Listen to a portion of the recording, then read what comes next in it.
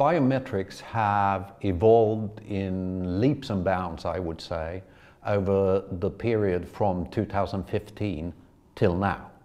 Quite simply because that was when uh, mobile phone industry took up biometrics. At first fingerprints and over time iris and face now. And this application, unlike anything that biometrics has seen in the past, has created a volume of use, a familiarity in the general population and an acceptance of biometry that was not around before. It used to be a government way of controlling citizens. It has become the citizens' opportunity to manage in an efficient and user-friendly way their need to authenticate to anything from Alibaba to PayPal to Facebook to what have you. So I would say that biometrics have evolved from the point of view of use to the fact that it's become a household type of equipment and no one wants to leave it now. The other thing is, with that volume of application came experience. And with the size of the market came a willingness to spend immense volumes, I would say, of both resources, experience, and uh, money on developing biometrics. So today, the face, the iris, and the fingerprint is way beyond anything that you could do with those technologies in 2015.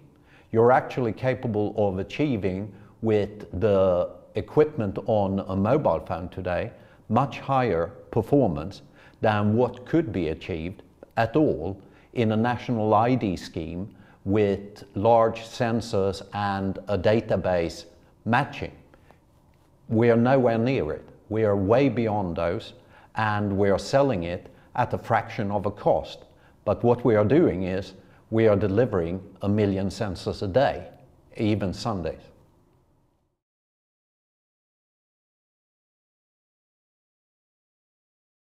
The main trends, well, they come from the mobile market really. Uh, the volume of the mobile market and its competitive nature and its fixation with user experience and a smooth, uh, friendly user interface have been driving this very much. So from having been a government imposed uh, sort of technology where you had no choice but to use what was being presented to you. And often you had to be directed by an officer in order to perform it correctly. Today, what we have is the most smooth, fluid experience that you can imagine because that is what is being asked. Today, biometry is not a means of control. It's a means of, for private people to actually be able to authenticate in a very smooth and efficient manner. It is driven by user experience. And that is a major change that has come through the, uh, the specifics of this huge mobile market that we found. The other thing which has helped in this development is work that is partly being done by GlobalPlatform and partly was being done in industry before, but is being now standardized by GlobalPlatform. But it is the development of means and methods of assuring uh, trust in devices, in tokens that are not under your control. So in the past, banks would issue their private banking card and they would trust them because they had issued them. Government would issue national ID cards or passport. They trusted them because they issued them. But now we're in a situation where both the bank and the merchant trust your mobile phone, which they have no insight into because with methods like GlobalPlatform, we've been able to secure the communication and messaging and relationship between these devices in such a way that we actually have trust in a device that you do not control, but which can still vouch for my identity and my capability for, for example, performing a payment or submitting my tax returns. And this has come to the point where, for instance, uh, the Swedish government is accepting BankID as a signature method for our tax returns.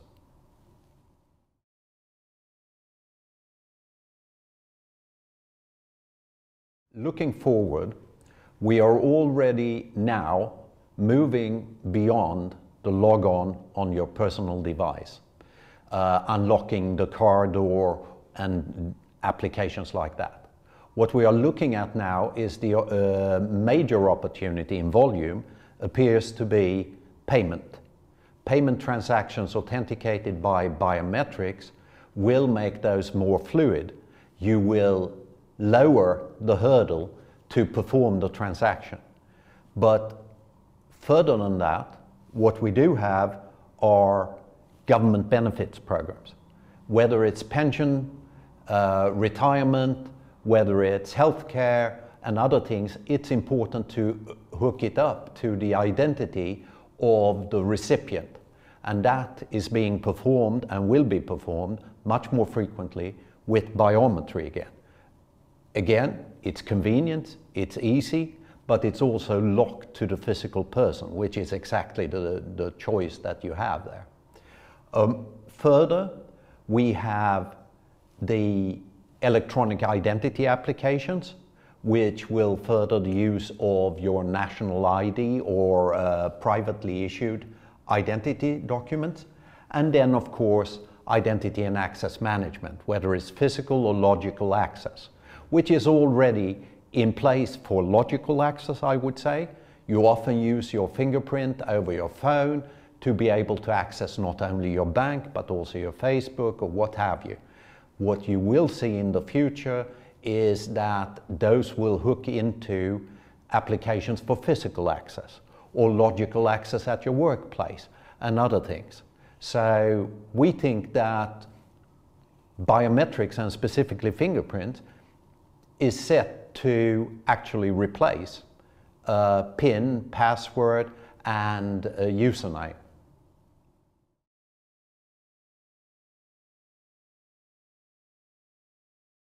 Our position is that, for the first, biometrics have to be fully integrated into the security uh, architecture of GlobalPlatform so that the results can be trusted. The data, the sensitive biometric data that I as an end user put in there, I can trust will be protected against tampering or stealing. The other thing is that obviously cost, size, packaging, power consumption, speed and performance have to be adapted for the biometry for each type of use case. Today, we are at the point of actually achieving those adaptations for integration into a smart card at the very highest levels of uh, demand for assurance and security. I think that once that has been done, folding out from there, it will be possible to reuse the packaging and the solutions that we find into other somewhat less demanding use cases. So uh, those are the two main issues. And then finally, which is an entirely internal biometric case, is that the enrollment. The enrollment is the moment when you lock the identity as you understand it to the biometry, which is locked to the physical body. And that locking has to be done in a way that is satisfactory, not only for the end user, it's important, but also for all the relying parties. And relying parties will have very different demands on that process.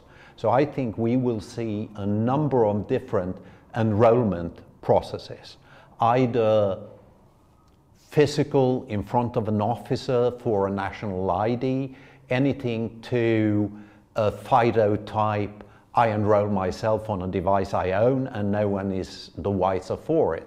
So we are going to see many different ways of resolving that.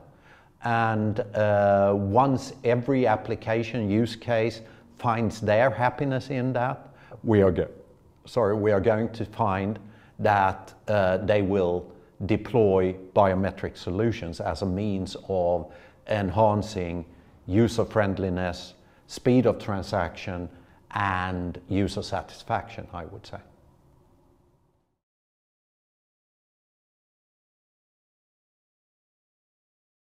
GlobalPlatform is the industry organization that provides interoperable, standardized communication under security and trust between all the different parties in this system.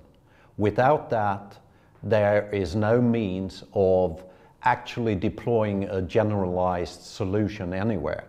What I think is that GlobalPlatform is going to provide the sort of uh, web on which this will be possible to deploy and use in a practical fashion.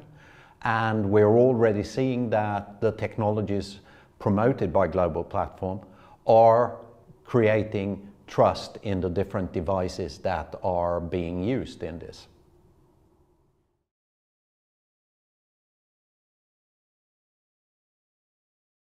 I believe that I, as an end user, will own a limited number of tokens or objects which are associated through biometry with my personal identity. Those objects will communicate in different situations and through different channels the necessary non-biometric data to authenticate my identity to anything from my government when I do my tax return, to the police when I've been speeding, to my garage door when it opens, or my bank when I want to make a withdrawal, anything like that. I'm going to use a limited number of devices. I don't think people will have any large number. I think it will be something like three or four. They will be linked to me by biometry. There will be fingerprint, there will certainly be iris, there will certainly be face, and there might be other things. Those will be sometimes small devices, like a little token with a, a radio transmitter. It will be typically devices that have a large part of our lives, like my mobile phone, unfortunately, my wife would say. And it will be other devices that we don't think of as identifying ourselves today, like the car, for instance, but maybe it will be a device I use to personalize the car when I pick it up, because five years from now, maybe I won't even need to own a car.